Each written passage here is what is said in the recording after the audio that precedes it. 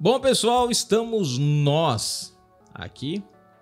Eu vou começar essa matéria com aquela frase que a gente costuma usar muito aqui, né? Que é eles defendem a causa, mas não atuam pela causa. É o assunto desta matéria.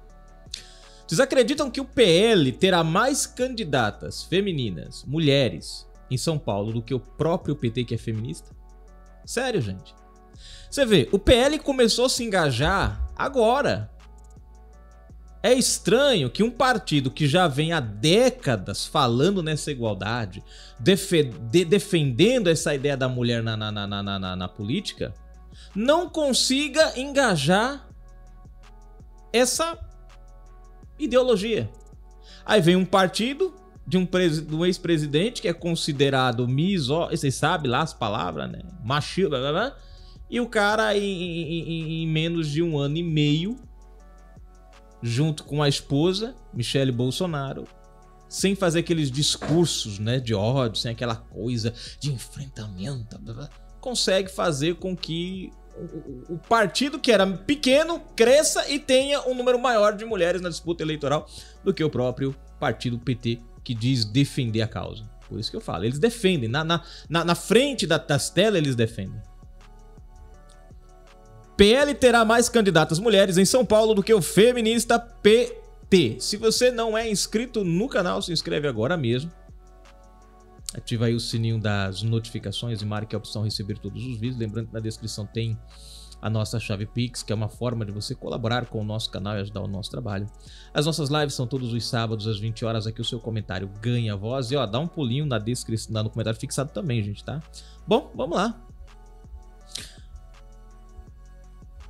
Apesar do discurso frequentemente encampado pelo Partido dos Trabalhadores, PT, de que a sigla luta pela igualdade de gênero, a prática demonstra que a legenda não aplica esse argumento tão ao pé da letra assim.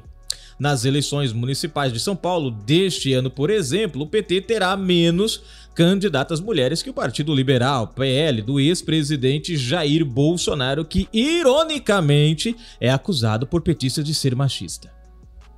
Ao todo, dos 55 candidatos a vereador do PL, 22 são mulheres, o equivalente a 40% do total. O PT, por outro lado, terá apenas 15 candidaturas femininas de um total de 45 postulantes à Câmara Municipal da capital paulista, o que representa 30% do contingente, o mínimo estabelecido na legislação eleitoral. Os caras foram na linha do mínimo.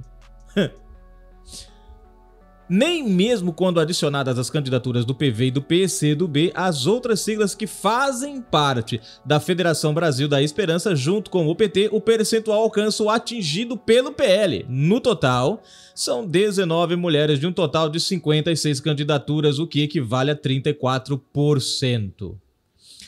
Né? PL Mulher. O percentual de candidaturas de mulheres alcançado pelo PL em São Paulo pode ser considerado um reflexo do trabalho do PL Mulher, braço feminino do partido que desde março de 2023 é presidido pela ex-primeira-dama Michele Bolsonaro. Ao longo do último ano, a esposa do ex-presidente Jair Bolsonaro tem viajado pelo Brasil estimulando a participação feminina na política. Em janeiro deste ano, a sigla havia divulgado que, desde a chegada de Michele, mais de 22 mil mulheres se filiaram ao PL, um aumento de cerca de 370% em relação às filiações femininas observadas em 2022. A ex-primeira-dama conseguiu também trazer nomes considerados fortes para a legenda, como a advogada cubana Zoe Martinez e a vereadora Soraya Fernandes. Tá aí a matéria. Agora eu pergunto para você, gente, quantas mulheres o PT conseguiu desde maio do ano passado para cá? Rapaz, olha só.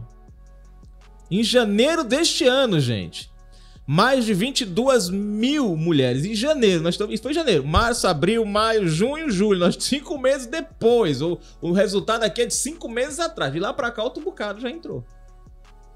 Cadê o PT, gente, fazendo o trabalho deles? Veja que o número deles foi na linha da cota, é o limite. Já o, o, o PL de Bolsonaro ultrapassou, né? Comentários pra gente finalizar. É que nem eu falo para vocês, a militância continua agarrada a um, a um discurso que é só da boca para fora. Só da boca. Porque a verdade é uma só, gente. A esquerda não quer que haja, de fato, o respeito às mulheres. Não, eles não querem. Eles querem que continue do jeito que tá, porque se acabar essa narrativa, eles não sabem mais o que fazer da vida. Deusolina Vascolaço comentando: Amigo, não está inchado. Pati. Né? Não está inchado. Né? Pat Glaze tem que comemorar mesmo. Né? Glaze comemora inchaço da máquina pública nas redes e se dá mal. Pois é. Gabriel da Silva, a expressão se chama bravata. Grande. Grande Ministério da Justiça manda investigar suposta ameaça contra Lula nas redes sociais. Tá aí, valeu, Gabriel. Um abraço, meu amigo. Quanto tempo, hein? Um abraço, gente. Tá aí. Daqui a pouco mais informações. Fui!